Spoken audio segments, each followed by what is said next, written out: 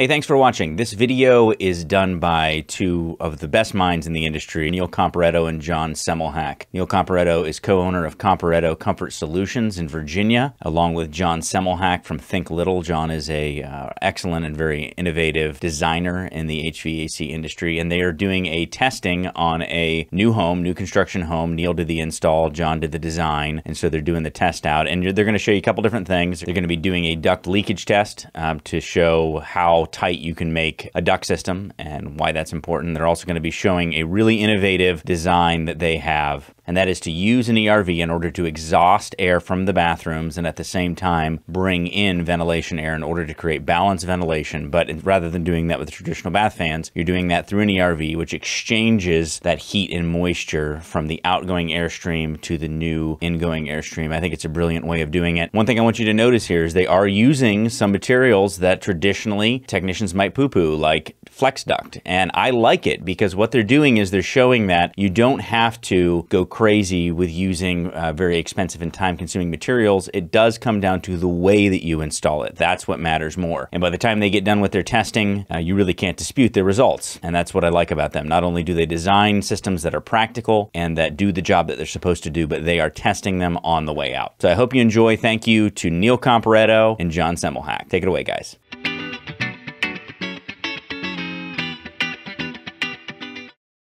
Let's take a look at the plans. What we have is a 3,000 square foot house. It's single story. It has a conditioned crawl space where the equipment is and a conditioned attic. It's being served by two ducted one ton mini split heat pumps. As you can see, the duct system is pretty simple. The supply is in blue. We have a short plenum and then branch lines run out to each of the register boots. These are done mostly in flex. All turns are in rigid, but straight lines in flex. We have a central return for each system, and then we have undercut doorways to provide a return air path back to the equipment. And this shows the ERV, which is how we are ventilating this house. It is a completely independent duct system. The green represents the fresh air. So we have fresh air going to each of the bedrooms as well as fresh air coming from outside. And the yellow is the exhaust duct, which each bathroom is being exhausted and also the kitchen, which is not shown on here. This is designed to run 24 7, so we are constantly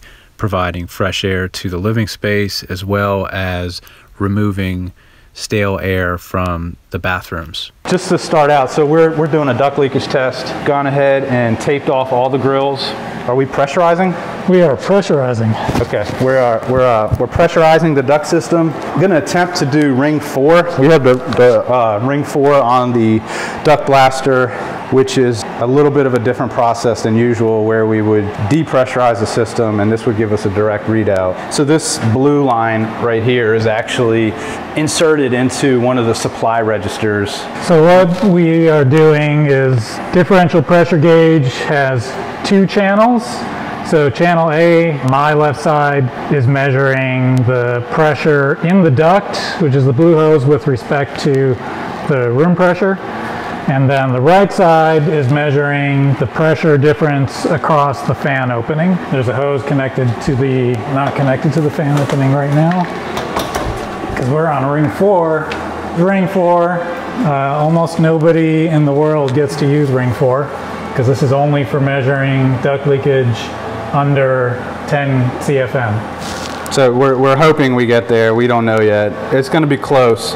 If we don't get it, I'm going to blame the equipment, no, FYI. We're, we're, already there. We're there? Yeah, because I tested on ring three already. Oh, you, you tricked me.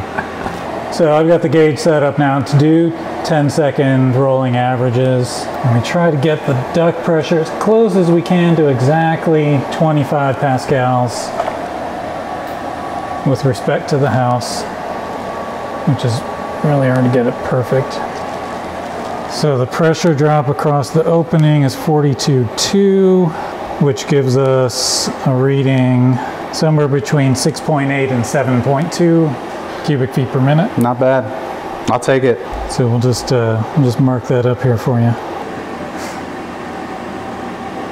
Pretty tight. That's it for this one? That's it for this one. Yep. Cool. All right, we have one more to test.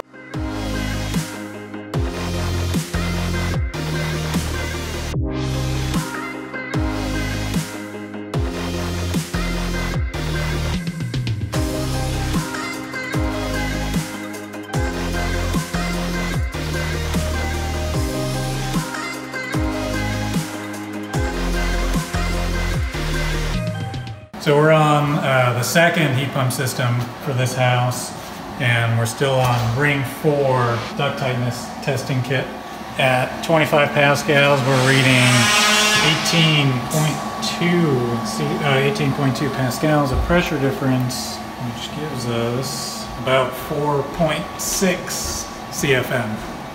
A little less than five, let's call it. That's uh, our best yet, so I'm happy with that. And just to be clear, this is an actual duct system. This this portion uh, is roughly covering 1,500 square feet. It's a one-ton unit, so there is a uh, six, eight plies of return. It's not just we're not cheating. It is a duct system. So this is our ERV right here. This is handling the ventilation for the whole house. It's ventilating the kitchen, which has a recirculating hood, and all the bathrooms, and we're delivering fresh air to all the living space, to the bedrooms and the living room. ERV stands for Energy Recovery Ventilator. This is a construction site, so So this is the RenewAire EV90P. We like the RenewAire units uh, quite a bit for their combination of price, simplicity, and performance. Very easy to work on, which is nice. We have MERV 8 filtration here. This is the energy recovery core. And what we're going to be doing now is balancing the airflow between the outside airstream and the exhaust airstream. And what the manufacturer has done is put in pressure ports to measure the pressure drop across the core. And they provided, provided to calculate the airflow at different pressure drops. So we're gonna let these fan motors get up to speed and then we'll go ahead and measure. uh, so door switch. That makes sense. And some of the things that Neil has done, we've specified. We have vibration, isolation material here. We have these pretty sexy silencers from Fantech that do a great job reducing airflow noise that gets delivered to the rooms. We've done some, put some flex duct in place just to isolate the equipment from the ducts because the ducts are attached to the structure. So, you know, we do the best we can to uh, minimize noise and vibration. We also ran some flex ducts. So we have essentially the, this is the exhaust and the fresh air. They're metal trunk lines and then we have flex duct runouts from there to, again, to quiet it down some. So what we're doing now with the, the manometer is we're measuring, we're on our outside air, our supply airstream, measuring across the core the pressure drop. And this is, the supply side is moving just a little bit less air. So this is a very simple ERV, single speed motors, no fan motor adjustment with this setup. There's no controls, it's just on or off. So what we do is we adjust the airflow with dampers. So we figure out which airstream is lower. Okay,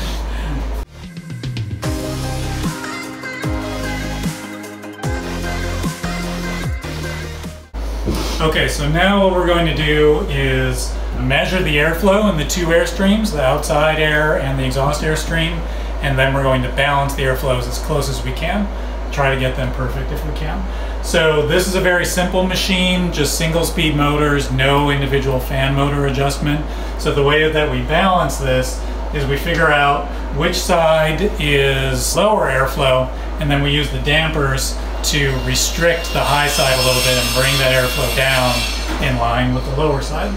So right now we're measuring the airflow on the outside airstream and we're at 0.19 and change inches of water, water column and then we're going to go that we have already tested this out and we know that that is the lower side so I'm just going to reset this gauge and see where we are on the exhaust side. We'll get a 10 second average here. Okay, so we're at 0.21. Basically, we're about 10 CFM off in terms of the balance. And we've got our damper here. And we're just going to adjust that until we get down to the 195 range. So John, you're setting this up as balanced um, airflow. The exhaust and the fresh air will be equal. That's right. So the, the, there, some people uh, do it differently. This could be set up to provide positive pressure or negative pressure as well. So it could be balanced, positive, negative. Most of the time we do it balanced. Sometimes we do it positive. Right. Um, we have an upcoming project that has a wood stove, and that one will set up the ERV to be slightly positive in order to encourage draft up the flue and lessen the risk of carbon monoxide poisoning. This house doesn't have that though, so we're just going to try and set it up as close as we can to balanced. All right, we're at 0.197 inches of water column. And then we're just going to go back, double check our supply side. 194. We're in good shape. So now what we have to do is go to the individual rooms and uh, go off of the design. Certain rooms have different airflow values and adjust them. And then once we do that, we'll come back here to see if we've messed up the total flow and if it needs a little bit of tweaking. But the first step is to get the right, you know, the right total amount of airflow and then go adjust the individual rooms. And then we'll go back and do that again. And then we'll go back and do this again. And sometime tomorrow we'll be done.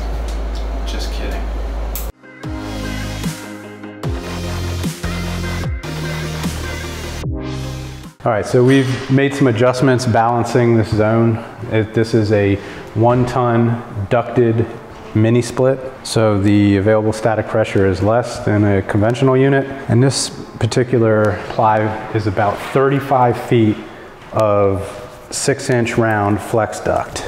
And we have, we're at 92 CFM. So let me, just so we all heard that correctly, ducted mini split, 35 feet of flex, 92 CFM, and it's quiet. Every system, the process is slightly different. On these, they have 10 fan speeds, okay? So we have a target CFM. On this one ton unit, it's 300. Okay, so we're starting at the lowest fan speed. We're gonna go around, measure all the supply ducts, and then add that up and see where we're at. So that's kind of like the first step of air balancing is you wanna get the uh, fan speed set correctly. Every unit is a little bit different in that process, but then we will go around and measure all the uh, supplies. This is the ASIN flow finder powered flow hood. And if you see we use supply registers with opposable blade dampers in them so we can make adjustments on the spot. So you just want to get this thing kind of up to speed. Come around this way, Wes, so you can see. What it's doing now is it's compensating for the pressure drop. So it's trying to basically create a neutral pressure so the flow hood itself isn't opposing any resistance on the, the uh, airflow, which, so we're measuring 71. So that's kind of where the accuracy, it comes from a, you know, a really nice manometer and the, the pressure, uh, the powered, what's the target? 75. Okay. All right, so both of my handometer and John's handometer have come up with a reading of 43 CFM. So let's let's see how accurate. I mean, I have calibrated mine. It's been a little while since calibration. We're, we're guessing 43. Ah, jeez. Got to got to take it back to the shop. 28 too. so this is one of the drawbacks of installing supplies in attics. I'm glad you Is that shooting one video get when I crawled in hardwired or is it plug in? Yeah, it was. Uh, We're good. I was looking for. the initial round and our airflow is a little bit low of our target. So we're gonna, John's increasing the fan tap from zero to one. Then we'll go back around and measure again. And then hopefully that's it. Maybe one more time. Okay, so full disclosure, this is round three of going around and balancing. Mistake was the first time we went around. uh, usually we'll find a zone or a room that has low airflow and we'll adjust the damper first. Yeah, we're back down to speed tap zero and we're at 304 CFM. Our target's 300, so we're gonna call that one good. We're here in the world's nicest crawl space. The only thing that could make it any better if it was higher, but it's uh, got a rat slab, it's, it's insulated, it's clean. It's uh, pretty much a pleasure to work in this. So I just wanted to show you the unit. This is the one unit we have set up for 400 CFM. This is a ducted mini split and so we had about four and a half CFM of duct leakage. Part of some, some ways of doing that is you got to seal the cabinet, okay? You know, we have our filter up top. In theory, there's no real access to this. The, the coil goes like basically right here, fan's here, so the fan is on the warm side, okay? So the fan doesn't really get any growth in it. The coil is pretty much inaccessible anyway, so we just go ahead and we tape it all up. If I have to get back in here at some point in time, you know, I, I do the electrical panel in foil tape. It's a little bit easier to, to deal with the pneumatic tape. And then we tape up all these penetrations, you know, like even like on the copper, we tape it up and we try to squeeze every CFM of air out of it. Stretch tape is awesome. So look, I get five CFM total leakage and we use a canvas connector because of the way we make them. They pretty much don't leak at all. So pretty happy with how this turned out. Another cool thing, if you want to look down that way, that this duct right here is a six inch round, 35 feet of flex duct, and we're getting 90 CFM on a ducted mini split. So the, the way this system is laid out is we essentially have a plenum we have a supply plenum and then we have a whole bunch of flex ducts running off it. The trick is that the flex ducts are pulled tight. They're not turning. Wherever we make a turn, we use hard pipe, elbows, things like that. So we're able to take a ducted mini split and run a whole bunch of flex on it and deliver required airflow. Hopefully that gives you guys some confidence to run some flex. John, tell me a little bit about this high performance filter grill you have here. Yeah, so high performance filter grills, especially for new construction, this is our preference. Uh, so for this one ton heat pump system, we have a single central filter grill for the whole system. This one's 20 by 20 and one of the keys is that it's a little bit oversized compared to typical practice and it's a two inch deep filter grill so that we can use a two inch deep MERV 13 filter to get excellent filtration with really, really low pressure drop. So at 400 CFM, the pressure drop across this filter is in the 0.05 to 0.06 inches of water column range. So we've got that MERV 13 filter. We've got the filter grill itself is sealed to the ductwork, so we have zero bypass. So all of the air has to go through the filter. And we've got a gasket for the filter to rest against.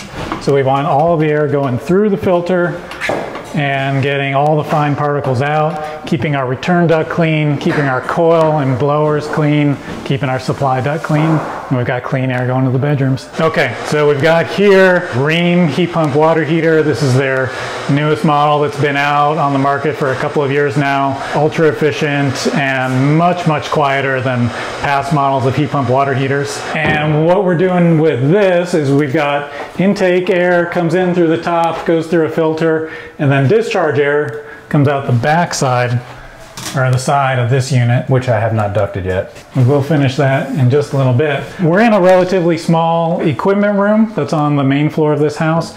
And so we're taking the discharge air and sending it down to the crawl space for good mixing of air in the crawl space and to keep this space warm and eliminate any comfort issues from that cool discharge air. So why do you specify a heat pump water heater? Heat pump water heater for best combination of efficiency, low cost of operation, and safety. Got it. And it helps dehumidify, which in central Virginia we have the need for sure. Yeah, it's another little bit of icing on the cake. Big thanks to John and Neil for making this video. It's time consuming to make videos. It gets in the way of the project, but they do it honestly to be able to share with you so that you can get some ideas. I think they would be the first to tell you that it isn't necessarily that you need to do everything the way that they do it, but seeing the way that other people do it is really helpful. We've learned a lot from John and Neil over the years, and I can't thank those guys enough. All right, thanks for watching. We'll see you on the next one.